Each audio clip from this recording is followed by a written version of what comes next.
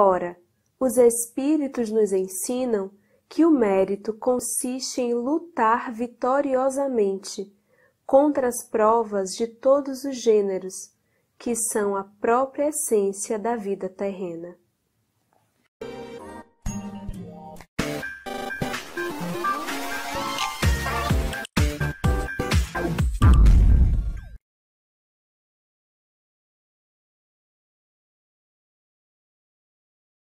Nós estamos no mês de setembro e a série Espiritismo em Revista não poderia deixar de se juntar à campanha de valorização da vida e de prevenção ao suicídio, o Setembro Amarelo.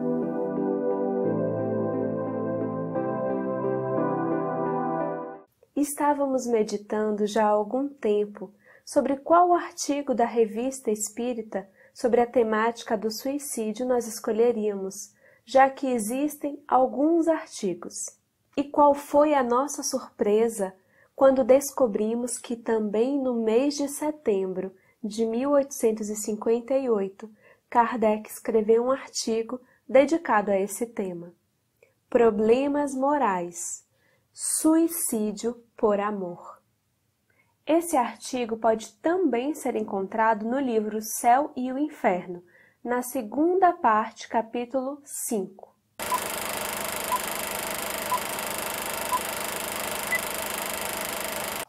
Kardec relata que dois jovens namoravam já há alguns meses, aproximadamente sete ou oito meses.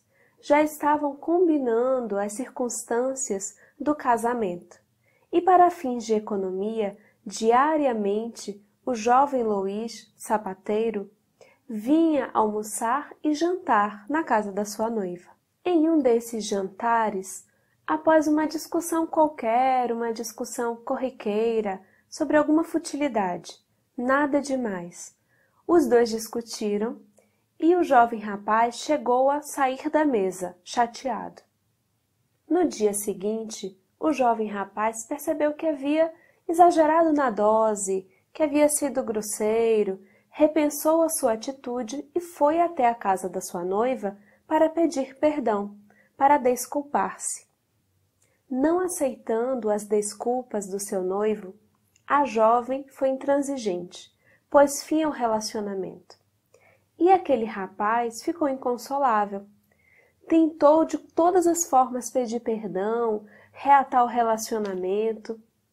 Passaram-se vários dias e ele voltou à casa da antiga noiva na tentativa de reaver a relação, de que ela o perdoassem, de que eles reatassem. Bateu a porta, chamou por ela, mas silêncio, ninguém atendeu, ninguém foi recebê-lo. Ele então gritou: Adeus, adeus para sempre. Trata de encontrar um marido que te ame mais do que eu. A moça, lá de dentro, chegou ainda a escutar um certo gemido, um estrondo, mas recusou-se a ir até a porta enquanto acreditasse que ele ainda estava lá. Acontece que ele havia cometido suicídio, exatamente na porta da antiga noiva, e uma pessoa que passava pela rua foi que viu que ele estava ali estendido. Então chamou os familiares, as pessoas da casa dela, e estava lá aquela cena triste instalada. Kardec encontrou essa notícia num jornal da época, datado de 7 de abril, e ele nos diz assim no artigo: Despertou-nos a ideia de dirigir a um espírito superior algumas perguntas sobre as consequências morais daquele ato do suicídio.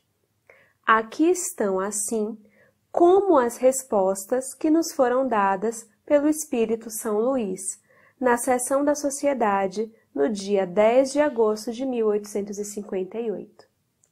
A moça, causadora involuntária da morte do amante, tem alguma responsabilidade por isso?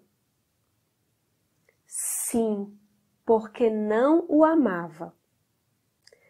Então, para prevenir a desgraça, deveria desposá-lo, a despeito da repugnância que lhe causava? Ela procurava uma ocasião para livrar-se dele, para desfazer o noivado.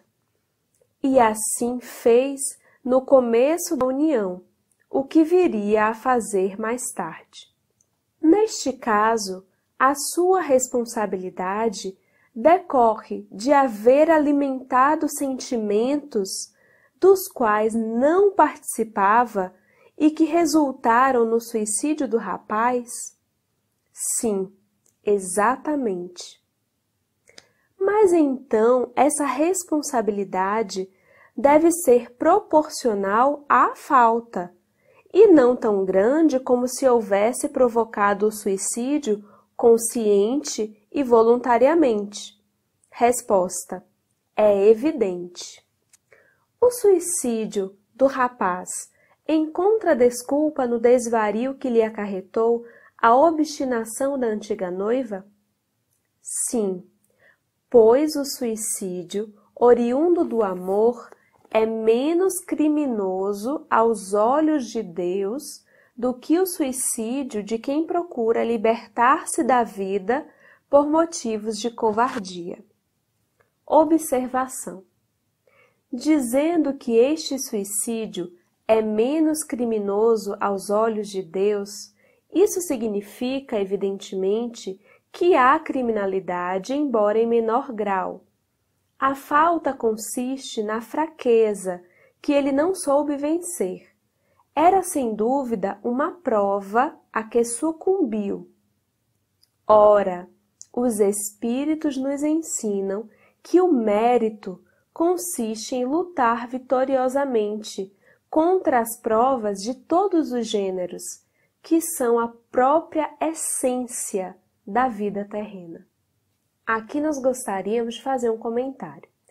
O fato de nós lermos que o suicida, que o ato do suicídio é um crime aos olhos de Deus, não nos dá o direito de nos fazer ou de nos colocar no lugar de juízes ou de deuses.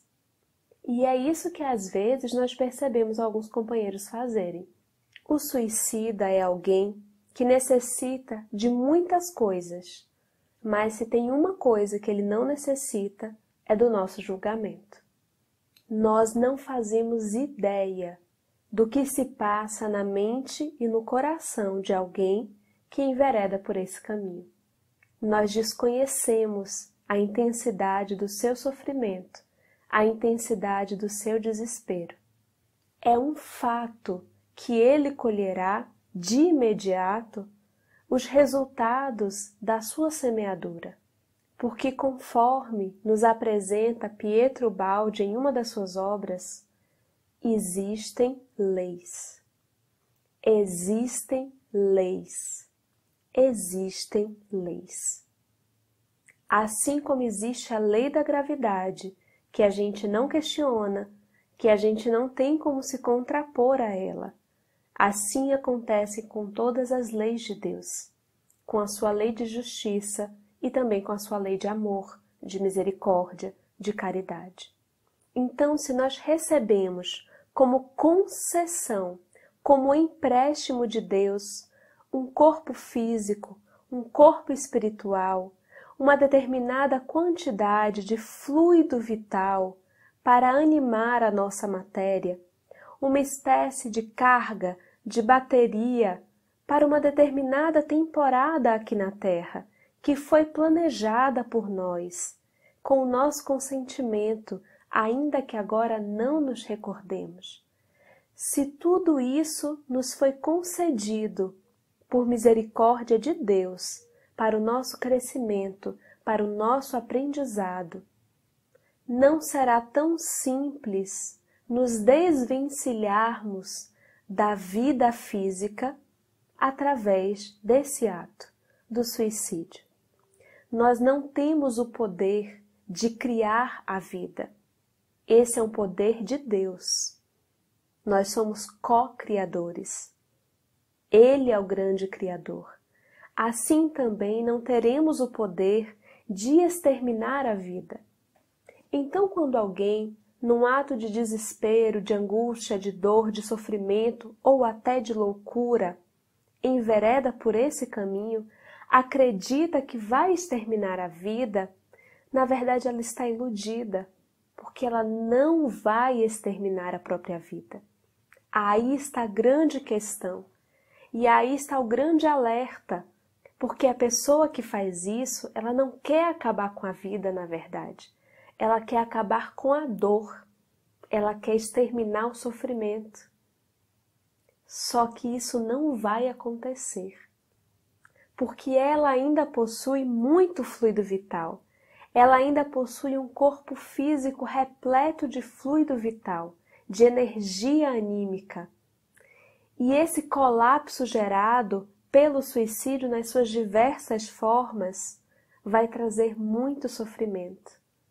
A matéria externa, esse corpo externo, vai se degradar e ela estará vinculada a ele, passando por esse processo de sofrimento, de acompanhar o reverberar do ato suicida, talvez por muito tempo. Então é muito sofrimento talvez mais sofrimento do que ela acreditava passar antes. Quem já teve oportunidade de ler o livro Memórias de um Suicida, da médium Ivone do Amaral Pereira, pelo espírito Camilo Castelo Branco, sabe com mais detalhes do que nós estamos falando e da quantidade de sofrimento advinda desse ato. Mas sabe também que ninguém está desamparado ninguém está desamparado, porque mesmo nesses momentos de intenso sofrimento, existem irmãos abnegados, dedicando-se aos suicidas, como se dedicam a todos nós, com as nossas fragilidades, sejam elas quais forem. Então, ao invés de julgamentos, de ideias preconcebidas sobre o sofrimento do outro, ao qual não temos acesso, que façamos uma oração por essas pessoas, por esses irmãos, porque nós não nos lembramos o que nós já fizemos e nós não sabemos o que nós somos capazes de fazer. Oremos, oremos sempre.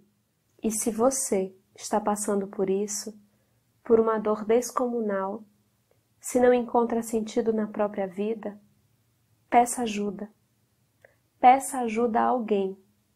Ligue para o CVV, para o Centro de Valorização da Vida. Entre em contato com um amigo, com um familiar. Peça ajuda. Mas fique conosco. Não desista. Dê mais uma oportunidade à vida. Eu te garanto que esse sofrimento enorme é passageiro. Vai passar, vai melhorar.